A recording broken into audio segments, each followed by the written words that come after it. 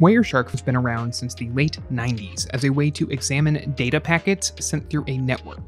If you're looking to troubleshoot network problems, examine security issues, or debug protocol implementations, it's a perfect solution.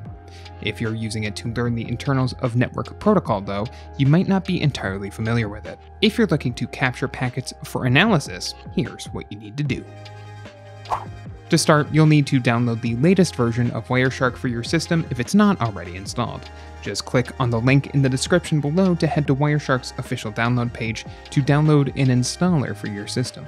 If you already have it installed, you can check for updates on the app itself by clicking on Help at the top of the window, then check for updates. Once that's done, opening the app will load you straight into the capture screen. To start catching packets, pick one of the detected network interfaces. A line graph will appear next to each detected interface to display detected activity. If you know what you're doing, you can set a few options like automatically stopping the capture session or saving the data to a file by clicking on Capture at the top and clicking on Options. Once you've picked one to capture from, just double click on the interface itself to start capturing. Wireshark will then capture data packets it can detect on the connection in real time. Once you've gotten to the data you need after letting it run for a while, just click on the red Stop button in the top left to stop the capture process.